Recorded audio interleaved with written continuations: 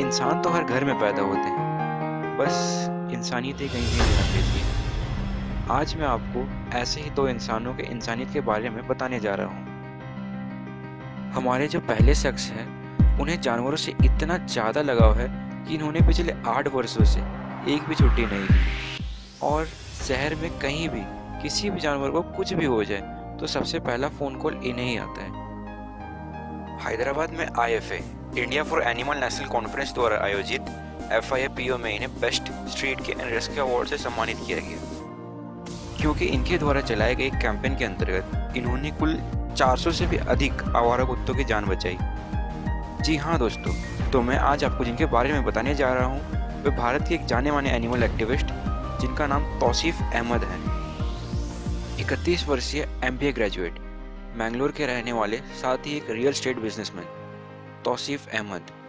इनका जन्म कर्नाटका के चिकमंगलूर डिस्ट्रिक्ट के कुद्रेमुख नाम के गाँव में हुआ। बचपन से ही इन्हें जानवरों से काफ़ी ज़्यादा लगाव था। और हो भी क्यों ना? इनकी परवरिश कुछ ऐसी हुई थी। बचपन से ही इन्हें सिखाया गया कि जानवर बेजुबान होते हैं। वो इंसानों की तरह अपने दर्दों को शब्दों में बयान नहीं कर पाते। और उन्हें चोट पहुंचाना किसी पाप से भी कम नहीं। उन दिनों पशुओं के इलाज के लिए सुख सुविधा न के बराबर थी। तो इनके माता पिता घर पर ही घरेलू नुस्खे द्वारा उन जानवरों का इलाज करते अपनी आगे की पढ़ाई पूरी करने के लिए वर्ष 2006 को ये मैंगलुरु चले गए। वहाँ इन्होंने S college of business management से बी की डिग्री हासिल की। और फिर जब वे उसी कॉलेज से एम की पढ़ाई कर रहे थे, तब उनकी मुलाकात एनिमल केयर ट्रस्ट वालों से हुई, जो कि उस शहर की एक जानी मानी एनजीओ थी। तौसीफ उनसे मिले और सीखा कि किस तरीके से वे किसी भी जख्मी जानवर का इलाज कर सकते हैं। इसके बाद क्या था? तौसीफ ने भी अपना मन बना लिया कि अब उन्हें भी पशुओं के लिए कुछ करना है। वैसे तो इन्होंने जानवरों के हित में काफ़ी सारे कैंपेन चलाए, जिनमें से एक है जल।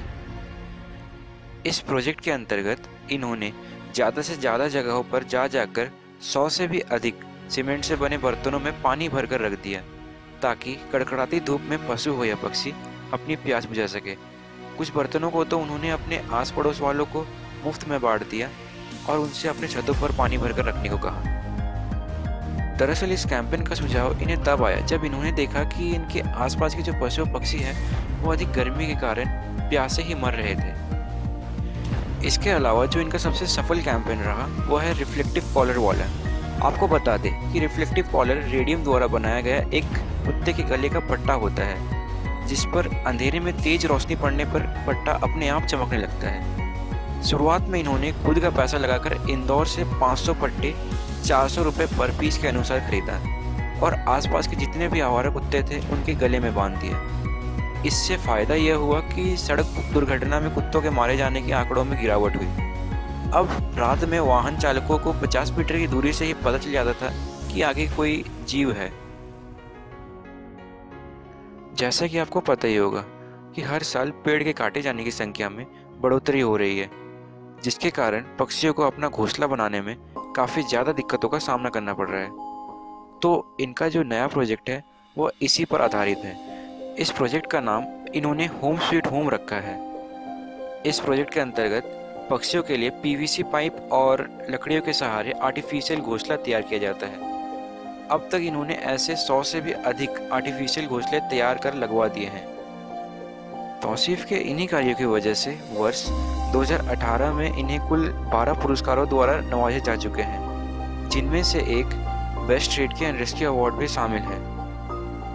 पैसों के लिए तो भाई भाई में लड़ाई होता है। यहाँ तो ये अपनी सैलरी का पचासवीं फ़ीसदी हिस्सा पशुओं की भलाई के लिए इस्तेमाल करते हैं। ये तो कुछ भी नहीं। वेस्ट बंगाल के कल्याणी शहर की रहने वाली 45 वर्षीय महिला नीलंजला विश्वास जी ने तो अपने दो लाख के गहने तक बेच दिए। इसके अलावा बैंक से भी तीन लाख तीस हज़ार तक का लोन ले लिया। बस इसलिए ताकि वो उन पैसों से अपने शहर के जो भी आवारा कुत्ते हैं, उनको खाना खिलाने के साथ साथ सही से देख कर सके। इनकी एक मज़ेदार बात बताऊँ आपको। इन्होंने घर पर ही तेरह कुत्ते पाल रखे है, जिनमें से बारह तो आवारा कुत्ते हैं।